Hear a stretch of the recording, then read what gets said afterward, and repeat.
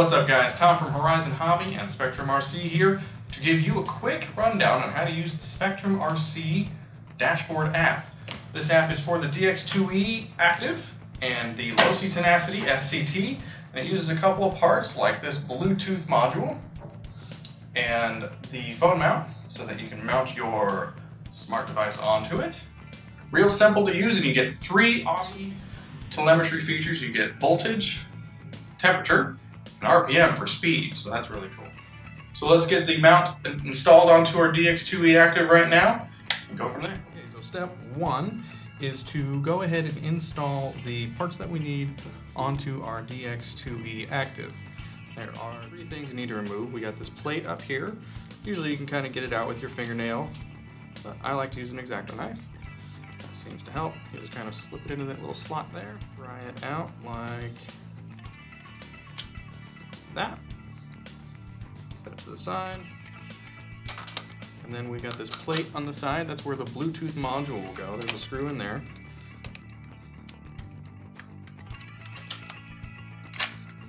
Alright, that's out. Alright, we'll put the Bluetooth module into the DX2E active. Kind of press it in there. You'll feel it kind of snugly click into place. Put the screw in. Give it a couple of turns. Good. And then the phone mount, we gotta remove this screw here. So we'll do that. Okay, we'll put her on top. Just press it into place and it's got a hole on the side. It's got this hole on the side. Put our screw that we took out originally and put it in there. Phone mount. Stretches pretty wide open. It's got these little rubber grips and you can put it in there. I mean, it's pretty big. You can get a pretty large phone in there. We tried it with a lot of different ones.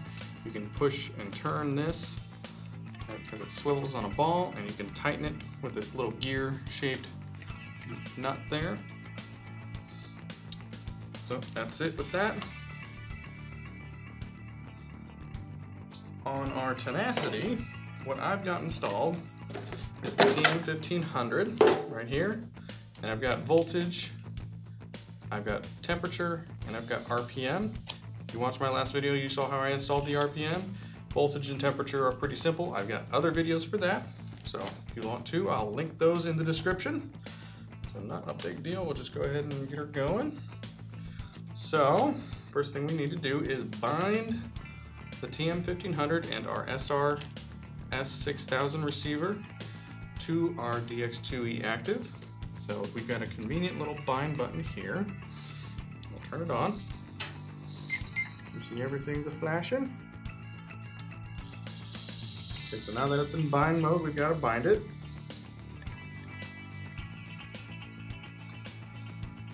And when you bind this receiver, just like any other AVC receiver, we've got to calibrate it.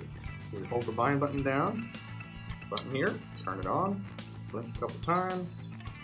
Once this light goes off, we hold full throttle, like that, full reverse, like that, full right, and full left.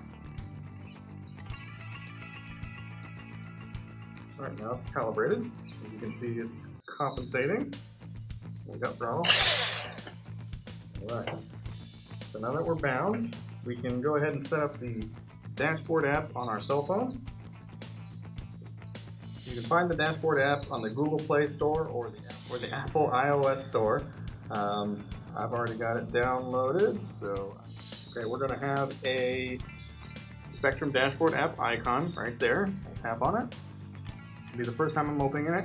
It's going to ask you to allow the Spektrum dashboard access to photos. You're going to say allow as well as the location. You'll say allow.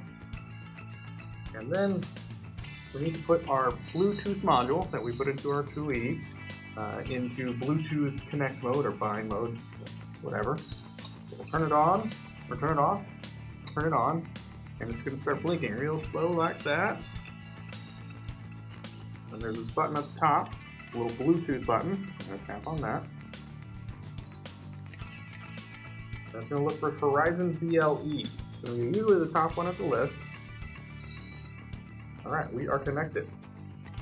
So we just connected to our Bluetooth module and our DX2E with our phone. And it's just going to say uh, firmware update. So the first time you attach to it, it's going to update the radio. Um, say OK. And it's going to take it a little bit. This is a fairly slow process. Just wait for it. Okay, so she's starting to go. We'll just let her go.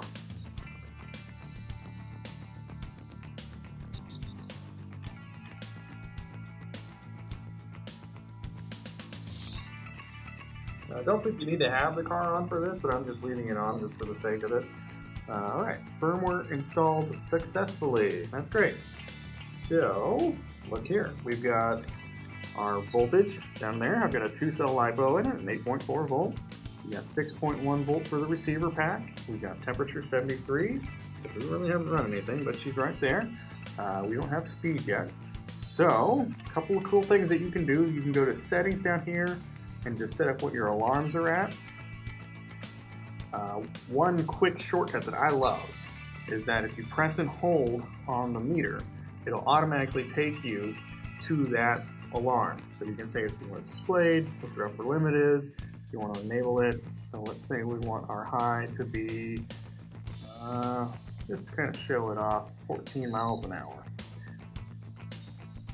Go back. So we'll go ahead and mount it in the phone.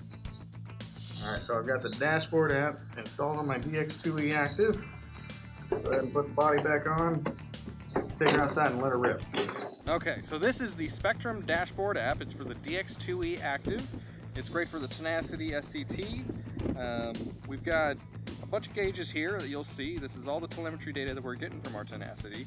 We've got miles per hour, which is taking the RPM data and calculating miles per hour. We've got a drive pack voltage, which is what my two cell LiPo is sitting at, 8.2. And we've got temperature, which is 91. It's kind of hot, but it's a, a, probe that's wrapped around the brushless motor on this truck. So one thing that you can do that's really handy, if you want to know when you're getting over temp, if you just press and hold on the gauge, it'll bring up our warnings. We can say, okay, if it gets over, make it easy, if it gets over, if it gets over 95, we're gonna go ahead and have an alarm at us there.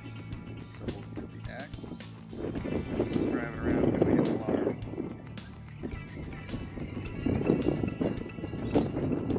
my gauge is moving. Pretty cool. There it goes. Oh, that was my speed alarm. I got a speed set to 20, so when 20 it, it hits the alarm, get over 95. Yep, there's our alarm for temperature, I believe. But yeah, that's one, one thing, easy thing you can do. You got your top speed there. We just click reset to do that. Um, that's about it.